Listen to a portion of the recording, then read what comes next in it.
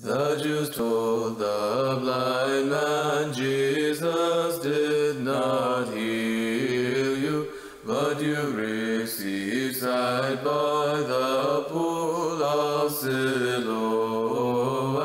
He answered them, those waters have failed to restore sight to other blind men.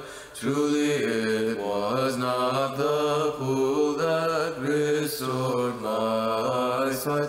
Woe to those who deny that Jesus has healed me. Hallelujah. Oh, hallelujah.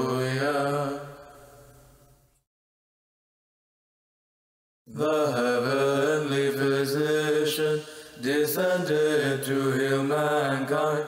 He came for us to suffer from so many illnesses. When the two blind men approached and begged Christ for his mercy, the Lord granted his healing and restored sight to them both.